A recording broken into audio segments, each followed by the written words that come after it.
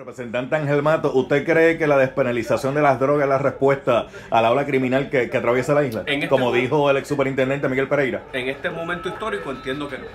¿Por qué? Eh, Bueno, porque, porque como discutíamos ahora antes de la pausa, simplemente legalizarlo todo no resuelve el problema de FAS de que hay una comunidad criminal que se ve obligada a robar porque no tiene empleo para mantener un vicio. Pues van a seguir robando, aunque ahora los puntos de asalto en vez de puntos de droga van a ser las farmacias del país, porque en algún lugar hay que vender lo que se legalice.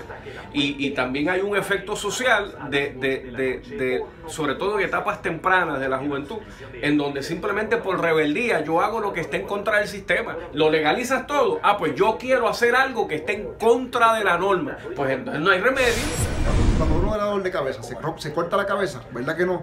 Esta no es la solución. No tenemos que, no podemos estar eh, bajo las excusas de vamos a hacer cosas este, nuevas, diferentes, simplemente pegarnos una, ¿sabes? un cuchillo al pescuezo y cortando la cabeza. No funciona así. Lo que sí podemos hacer es buscar la forma de resolver el problema severo social que tenemos y económico, porque entonces eso se supone, en, términos de, cíclico, ¿verdad? Lo que hace es que mejora las condiciones de vida de la gente y, eh, y los saca del bajo mundo. Eso es lo que tenemos que hacer. Lo que, lo que pasa es que es un reto y aquí hay un issue de políticas públicas ideológicas que evitan la discusión real de los, de los temas importantes. Por ejemplo, este tema está enredado en la, en, en- en la trivialidad de que si legalizamos, que si no esto, que si lo otro, cuando necesitamos es herramientas de desarrollo económico para poder sacar a esa gente de esos, de esos círculos de pobreza y obviamente de la necesidad de tener que eh, delinquir, de ir a buscar este, lo, lo- que no consiguen en el bajo mundo.